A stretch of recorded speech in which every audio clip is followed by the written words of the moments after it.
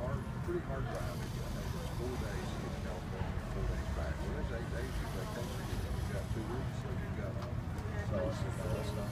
Yeah, that's not. When it was so easy to get on. Oh yeah. Sure.